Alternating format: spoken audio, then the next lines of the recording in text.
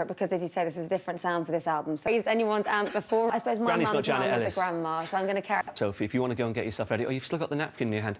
Done my own. Really.